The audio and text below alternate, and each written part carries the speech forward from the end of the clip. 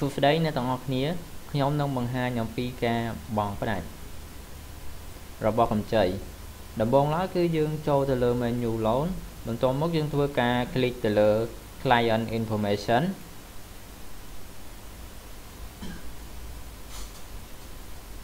ឥឡូវនេះគឺយើងបានចូលមកដល់ទីតាំងរបស់ client information ហើយបន្ទាប់មកយើងធ្វើការជ្រើសរើស client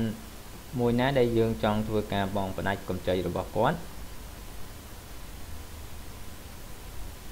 បន្ទាប់មកយើងធ្វើការคลิกទៅលើប៊ូតុង action នៅខាងស្នាមដៃហើយយើងធ្វើការคลิกទៅលើប៊ូតុង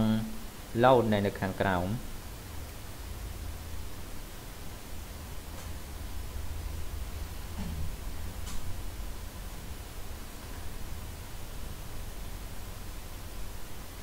បន្ទាប់មកយើងធ្វើការជ្រើសរើសកម្ចីណាមួយដែលយើងចង់ធ្វើការបង់ផ្ដាច់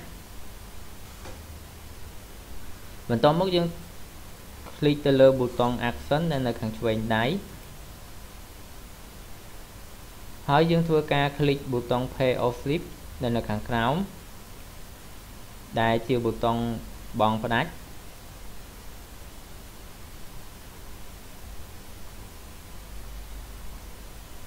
ហើយវានឹងចុះចូលថ្ងៃដែលយើងបង់ផ្ដាច់ហើយវានឹងឲ្យយើងធ្វើការចុះចូលលេខ invoice នេះ total payment នេះគឺវានឹងសរុបទាំងប្រាក់ដើមទាំងប្រាក់ការដែលតម្រូវឲ្យបងផ្ដាច់ CO គឺជាឈ្មោះមន្ត្រីអនុទានដែលគាត់បាន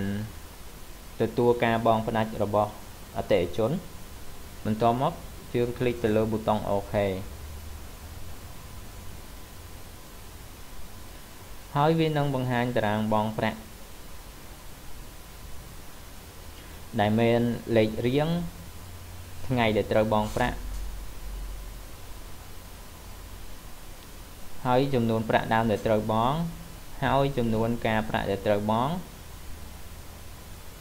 ហើយកន្លែងចំនួនការប្រាក់ដែលត្រូវបង់នេះគឺយើងអាចធ្វើការផ្លាស់ប្ដូរបានឬមួយក៏អាចធ្វើការបន្ថែមបាន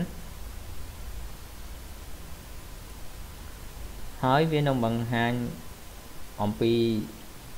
ចំនួន inference ដែលត្រូវបង់បន្ទាប់មកវានឹងសរុប total ជាមួយប្រាក់ដើមនិងការប្រាក់និង insurance ដែលត្រូវបង់ ចំណែកឯខាងក្រោមនេះវិញគឺ total interest គឺវាសរុបចំនួន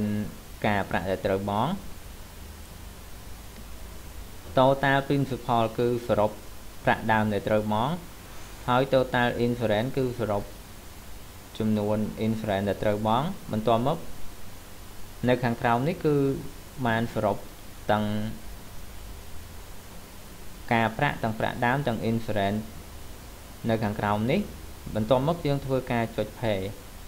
ហើយវានឹងធ្វើការបង់ប្រាក់សំទោសវានឹងធ្វើការបង់ផ្ដាច់របស់កម្ចីអតិថិជន